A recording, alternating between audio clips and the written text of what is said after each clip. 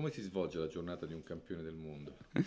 Io mi sveglio alle 4 del mattino per andare a lavorare, lavoro fin verso le 2, faccio il fornaio e nel pomeriggio solitamente se riesco vado un paio di volte alla settimana in palestra e alla sera ad allenarmi.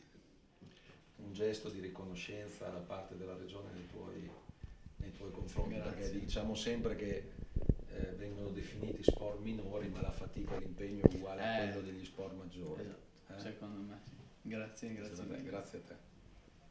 Gli americani li abbiamo battuti lanciando ogni palla al meglio, e rimanendo concentrati e umili, cosa che loro non hanno fatto perché sono saliti in pista credendo già di aver vinto, come per loro è normale.